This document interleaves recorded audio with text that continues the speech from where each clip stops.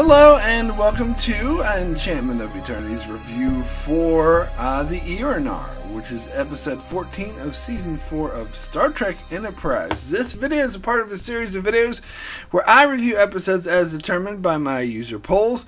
The episode to win my latest Enterprise user poll is the Aenar. So the Aenar is the third part or epilogue, however you choose to call it, of the three-parter about the um, Romulans trying to start a war between the Tellarites and the Andorians by using uh, drones. So, in my opinion, this storyline was resolved in the second part, which is why I'm in counting. I'm reviewing this as its own episode because this deals with the aftermath of how the um, them discovering who piloted the drone that uh, started all this was actually an Aenar, which is a subspecies of the Andorians. So they travel to Andoria um, to try to enlist help with the Aenar, and they find the uh, pilot's sister is willing to help them, and she uses her telepathic abilities to help Enterprise um, find and stop this pilot before uh, he causes any more damage, including destroying Enterprise.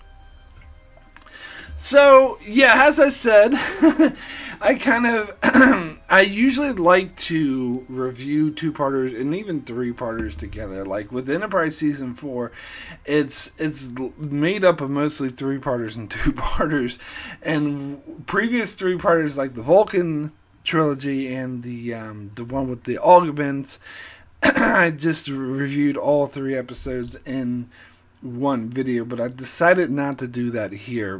When the Aenar was selected as the um, one of my random selections, I decided instead of saying, "Oh, I'm just going to review all three, I decided to review this as its own episode. Now, if I do eventually cover uh, United and Babel One, I will probably review both of those together because I do really see that as one episode or one story stretched over two episodes, just like I saw the Vulcan trilogy, the um, Kir'Shar one.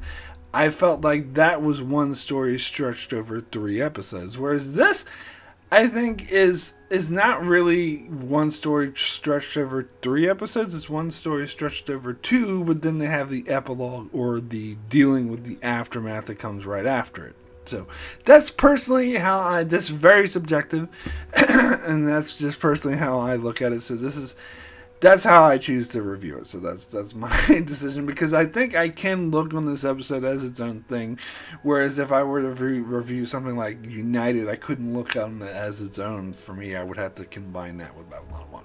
That's just my thinking. Anyway, the funny thing about that is is that I actually think I do enjoy this episode more out of context. Now, I talked about that recently with some other Star Trek reviews, and it's funny. It's a funny thing to say about this, which is technically the third part in the three parter, that I actually like it better out of context. Now, because I gotta be honest, for the longest time, I didn't think very highly of this episode, especially when I first saw it, and so I had bad memories of it. so I always used to put it as one of the poorer episodes of season four of Enterprise. Um, because I remember when I first saw this three parter, I was really disappointed because it is a massive shift in tone from the other two parter, and really, and I do think I think better of the whole thing if I just think of that you know those other two episodes as its own two-parter and this as an epilogue it actually i don't know why but some reason my mind it makes me think higher of not only this episode but the whole thing. And I do think this is um, an epilogue because I think the main story in the last two episodes that is of uh, will there be a conflict between uh, the Andorians and the Tellarites and Archer like having to deal with Shran being upset over losing his wife and um, the Romulan drone which Reed and Tucker were trapped on trying to destroy all the ships like all that I think was resolved in the episode before this. So I, so I think that is all that, that was all done in this two part where this dealt with sort of the aftermath. It dealt with well, what about that pilot who was uh, revealed to be Andorian? Um, and what about that drone is still out there and the Romulans could still cause trouble? So I, I really and I actually think I think a lot more highly about it if I do see this as its own separate story, and I really think that it is.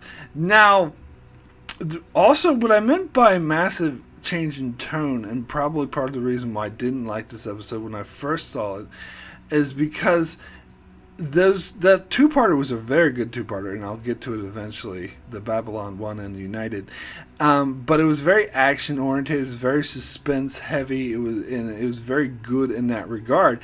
So I think coming from that and thinking that this would just be part three of that um, that's probably why I was disappointed because I was expecting that same tone, and the massive shift tone made me think, well, this is just boring. like this, this is a boring reference. Really, this is how they defeat the Romulans. Who cares? But when I watched this episode out of context, and even when I did my rewatch of Enterprise, when I did watch it in context, I really it did. I that's when I first realized that I was being unfair to this episode because I realized that this is its own thing, and it's a character story. So now watching it now, w- w- without watching that two-parter first, just watching it out of context, I can see it is actually good at what it's doing. That it, but it is a character story. It's not an action suspense, oh, war type story. Even though it resolves the storyline with the Romulan drones and they try to destroy Enterprise, that's not really the point of the focus. I mean, it's the drive of the episode, it's what's driving the plot, but it's not really what the episode's about. The episode is about the Aenar. The episode is about this brother and sister and the tragedy of this brother who was captured who was abducted by the Romulans and used to kill a bunch of people when it that goes against the very tenets of this species or, or this whole culture, which is a very pacifist, non-violent culture. I mean, they're non-violent to the point of where they didn't even want to get involved at all in order to stop killing. Um, which I, I think is a bit problematic, but you know, I buy that as a culture. So, uh, so it's about yeah. So he was being used in that way, and it's about the sister trying to, who had no idea about that her brother that this happened to her brother and Archer and Shran, sort of uh, giving them this information how she was so driven to even go against her own people, uh, to try to save her brother and and even though saving him did mean basically killing him uh, because the only way out of this situation was for him to die. But she was there, like she actually thought that was a um, a better resolution. And I mean, honest, uh, obviously she didn't want him to die, but that was the only way we could go down. The alternative was for him to keep killing people, which actually, to both their minds, was worse because he didn't even realize because he had been lied to by the Romulans and used by the Romulans, kind of brainwashed. I get the impression, and so once he real once she showed up and um, spoke to him telepathically, made him aware of what was really going on, he would rather die and he chose. That's what happened at the end. He knew the Romulans was going to kill him, and he chose to die rather than to continue this this uh, violence that goes against everything he, he believes in. And um, I think there was closure in his sister, whose name I'm not even going to try to pronounce, but um, that and so she felt, and she said she was very this is a very sorrowful episode. It was um, melancholy, I would think, because she was happy to be there for him at the time of his, of his death, and she was happy to end his suffering, but it's still a sad ending because she lost her brother, and and also being discovering that he that he was being used in such a way.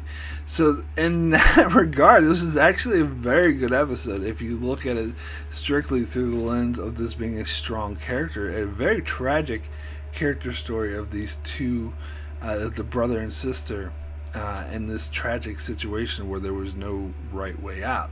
If you look at it as, oh, this is stunning conclusion of how Enterprise defeats the Romulans and the evil Germans trying to start war, then it's kind of disappointing because it's not very, it doesn't really serve that purpose and it's not good in that regard. So I think when I first saw this episode, I didn't like it. I was looking at it all wrong. I was looking at it from that perspective because I was just, I was expecting this to be the third part of this epic battle this Romulus using these drones to try to start war when really it's not. It really gets into the heart of the characters involved in this situation. So when I actually come at it from that perspective, I can see it's actually a very strong character story.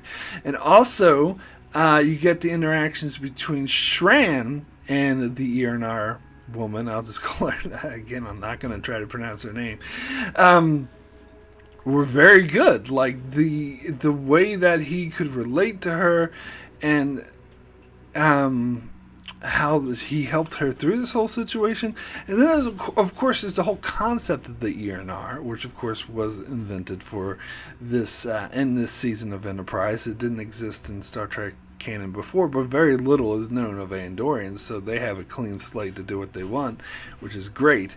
Uh, I actually think like prequels and other stuff that's taking place in earlier Star Trek should play more with species that aren't developed enough because they have a clean slate to do what they want, rather than species that are already well developed because then they kind of bump up and mess with canon if they do it that way. Klingons. Excuse me. and Borg. but anyway, so and that's what prequels should do. And that's part of the strength of season four and why season four of Enterprise was. I, I still prefer season three as the best season of Enterprise, but season four of Enterprise was clearly the best example of a prequel ever done in Star Trek. Anyway, uh, so so yeah, the concept of the Aenar is a very interesting one because they're a subspecies of the Andorians who are, I can't remember the exact number of population, but it's very very small, and um, they have telepathic abilities. Now, when I was watching this episode, I assumed they were just like a different race, a different culture of of Andorians, kind of like you know how you have humans in modern times, you have. Um, you know English people, Americans, uh, Chinese. You know, you have different cultures in different places, and so I thought it was kind of in that sort of regard. But um, no, the all the online material and stuff, the information I've read about the Aenar describe them as a subspecies. So it's, it's considered an entire different species. Uh, so they actually are not Andorians; they are Aenar. They just developed on the same planet, and so they're very similar to Andorians uh, in many regards, but they're actually so they're considered a subspecies, but really it's a different species, kind of like the Romulans and the Remans, which, by the way, the Remans actually appear in this episode. well, they appear in the whole three-parter, but it's the, it's the only time outside of Nemesis, I believe, that the Remans appeared. Unless I don't think the Remans appeared on Lower Decks. I know they were name dropped, but I don't think they did. But anyway, so, and it didn't appear on Picard, which surprised me. But anyway, so far, I think yeah, this was the only apparent appearance of the Remans outside of Nemesis, because of course the Remans weren't even invented until Nemesis, so they wouldn't appear before it. Um, but I do like that sort of putting them back in the history of the Romulans is another nice touch. But anyway, so yeah, so the the Aenar are sort of described more like that, more like the relationship, because the Romulans and the Remans were meant, were said to become from the same sort of pool, but they evolved differently on different planets. And the Aenar lived on a much much colder part, and they've been developed having. Uh, you know telepathic abilities. Plus, they, as I said, they are ridiculously strict and pacifist and being pacifist and nonviolent, which is also very in contrast to the Andorians that are very warlike and uh, they're seen. They're kind of seen as a they were never clear on this exactly how their culture is, but you get the sense they're sort of warlike, but in a different way than, say, the Klingons or something. But that being war and conflict is very important to their culture. So I can see why it's, it is implied in this episode that the two cultures do not get along and basically have the barest minimum of contact with each other. So they basically just leave each other alone for the most part, but and they have avenues of contact if it is necessary, like because they're living on the same planet. So there's any issues that um, are relevant to both of them, they have means of communication so that they can be aware and work together. But other than that, I get the impression they just leave each other alone. Um, and so they are more like a group of isolationists, uh, isolationist pacifists who, uh, you know, are separate from the rest of uh, Andorian society.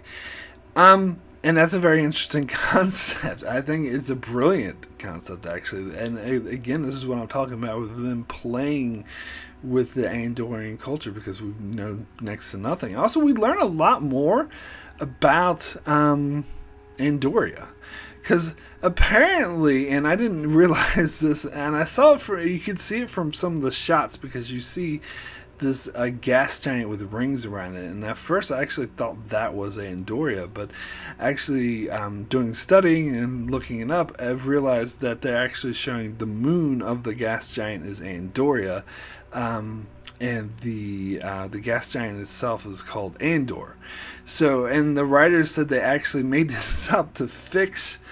There was a continuity issue without um, throughout Star Trek because apparently sometimes they refer to the Andorians' homeworld as Andor and sometimes as Andoria.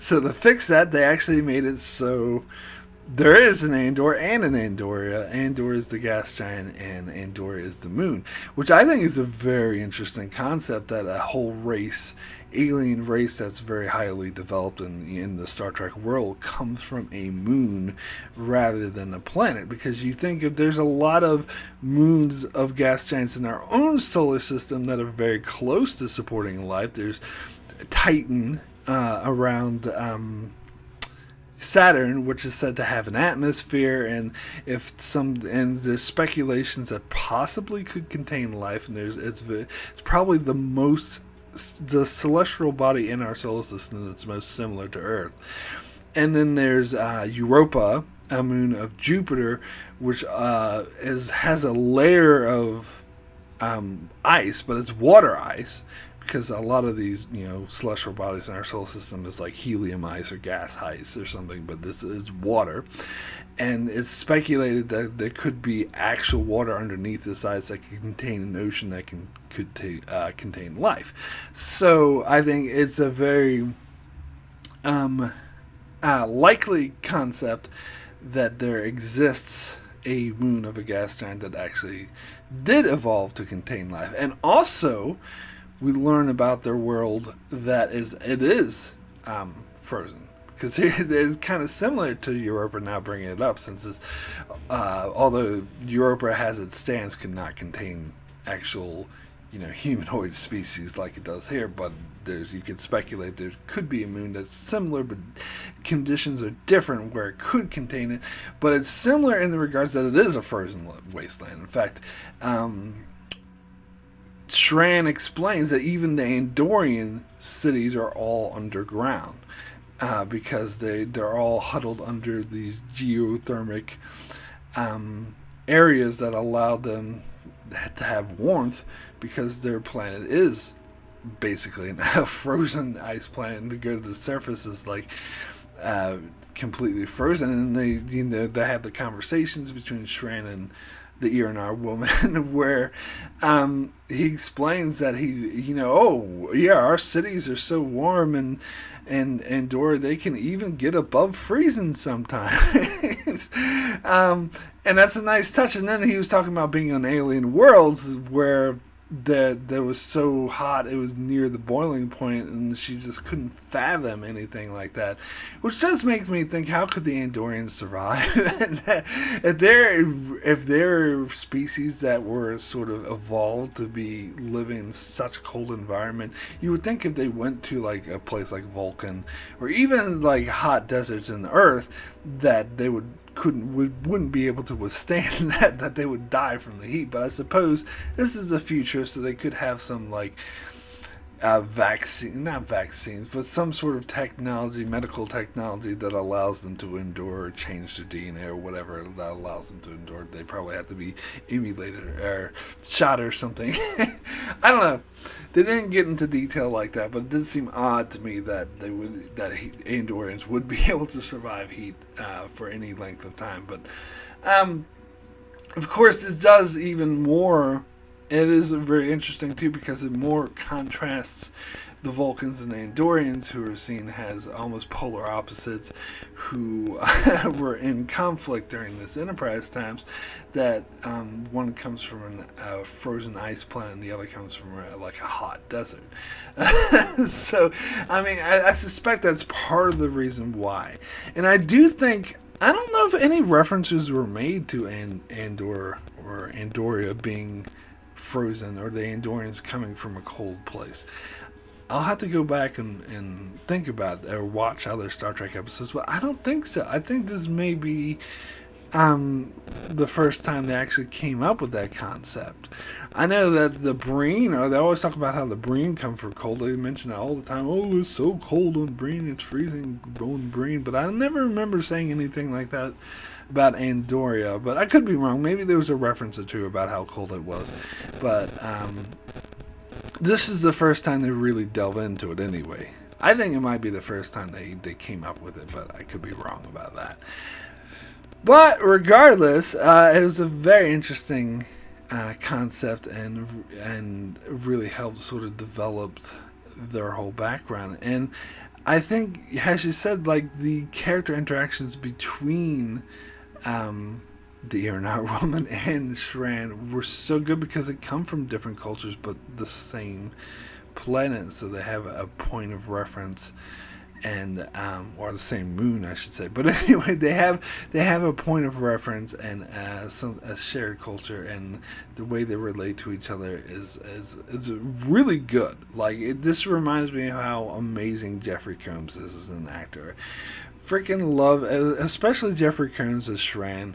Uh, knocks out of the park. Jeffrey Combs as Brunt, maybe not so much. That doesn't. I'm not really reminded of how good of an actor he is when he plays Brunt, but when he plays like Weyoun or Shran, like if he's in other words if he's given good material if he's given good stuff to do he can really really knock it out of the park. And he really like the interactions you get between him and the Aenar woman are just so good they're like so well written and you can really buy it and it's like a natural progression that these two characters get along so well. Which leads me to a discovery that I just found out just now as I was researching this episode. I had absolutely no idea.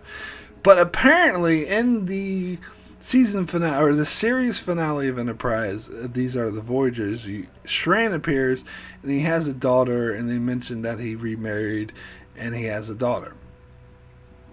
I had no idea that apparently the woman that he remarried was in fact the same character from this episode, and that the daughter that is featured in that episode is half Aenar, half Andorian. So the the uh, the online sources even describe her as being a hybrid, so that Andorians and Aenar are actually different species. So she's like a kind of like you know Spock, half human, half Vulcan. That she's half Andorian, half Aenar.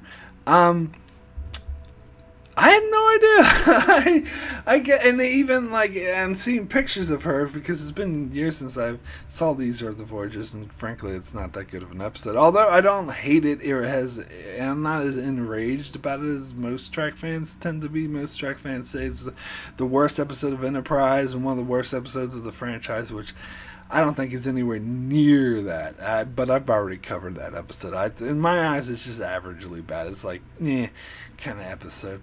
So, but regardless, I never paid much attention to it. It's probably why I never noticed it before because I saw a picture of the of um, Shran's daughter from that episode, and they do do her makeup sort of make it lighter than Shran's, but sort of more blue than um, the Aenars.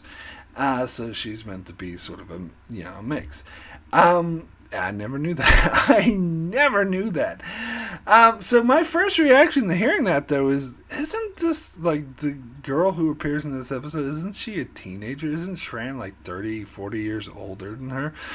But I looked up the the age of the actress who actually portrayed uh, this character in this episode, and she's actually um, ex- one month younger than me.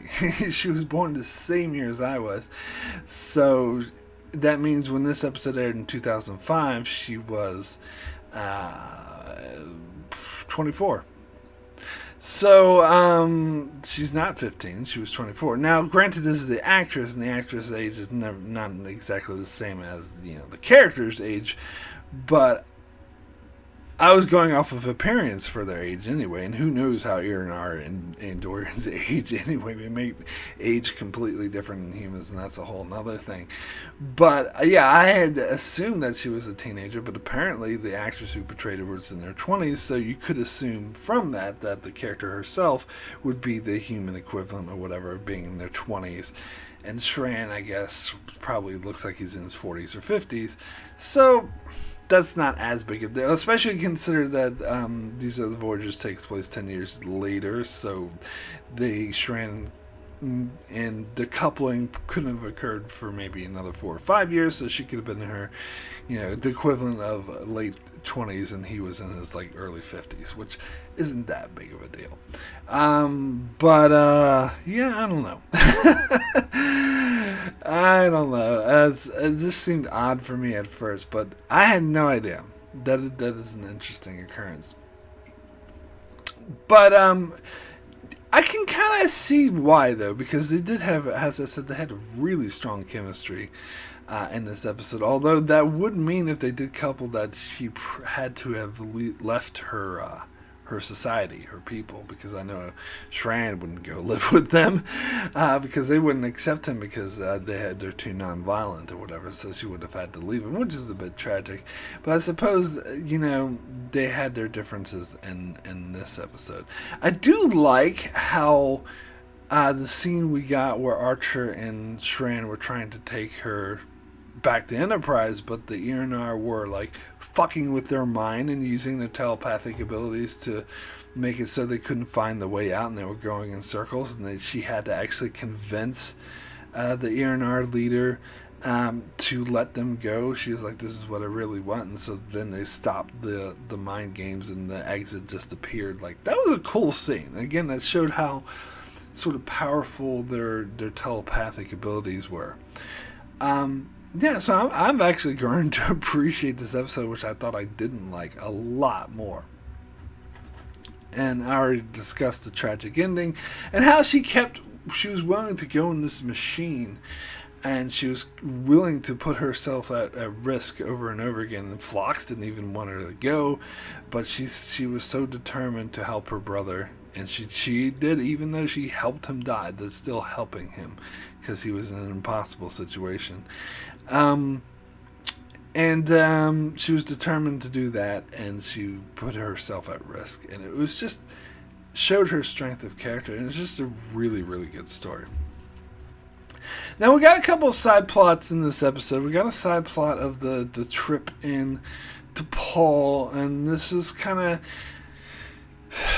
Uh, this is after you know the trip and T'Pol relationship fell apart, and and and T'Pol didn't didn't want to be involved with Trip, and this was sort of fucking with his head.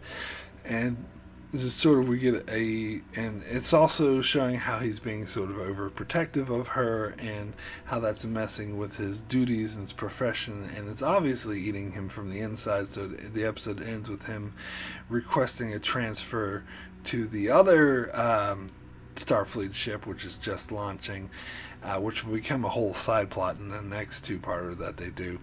Um, which I wasn't a huge fan of, to be honest. But anyway, um, so and uh, Archer is like really didn't want to let him go, but he refused to explain exactly why. But he's like, "Trust me, if you're my friend, just please, I can't stay here." And he's like, "Okay." Eventually, like he Archer put up a big fight at first, but eventually it's like, "All right." I think it became apparent to Trip that he still that he really wanted it. That being around T'Pol was really painful for him, and that's a that's a really relatable story and something that I think was was done really well. But here's my issue: I have, I have a huge issue with this subplot in this episode because. T'Pol is trying that telepathic machine thingy, which obviously she's not equipped to do because she's just a Vulcan. Their their telepathic abilities aren't as great as say the Aenars. Um, and even when the Aenar woman came, it, she still was having risks and had to put her life in danger to use it. So T'Pol was really in danger because she she was just not her telepathic abilities just aren't as great. Um, so she wants to try it, but Trips kept is kept saying no, like you can't do this. You're you're you're in command now. Like you wait till the captain gets back, and she's like, no, we can't wait till the captain gets back. We have to do it now. And then he tries to go to Phlox and like, can, can we come up with a reason to stop her from doing this? And Phlox is like, well, no, and tries to talk down the trip like you're just letting your emotions get the better of you. You're just because you're in love with her, you're not being very professional, and you're um, you know letting your emotions interfere with your professional decisions, and that's basically what the, repeatedly the episode seems to be telling me that Trip is letting his uh, profession, his emotional state and his love for T'Pol interfere with his professional duties and what he needs to do properly which I think is total bullshit, actually. In fact, I think by refusing T'Pol, and this is why I think I see this as a failure of writing, because the episodes are clearly trying to present a situation as one thing when clearly it is another.